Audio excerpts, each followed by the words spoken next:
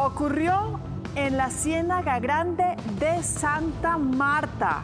Escuchen ustedes, más de mil personas que aprovecharon, aprovecharon, entre comillas, este puente festivo para ir hasta ese sector ubicado en Pueblo Viejo Magdalena, para ir con sus familias, para bañarse, sin tapabocas y respetando la distancia, todas las medidas de aislamiento. Cientos de habitantes permanecieron allí y durante varias horas. Hay que recordarles, recordarnos todo el tiempo, este municipio es el segundo con mayor casos de contagio de todo el Magdalena. Ya reportan 100 contagios y 8 personas además fallecidas por el coronavirus.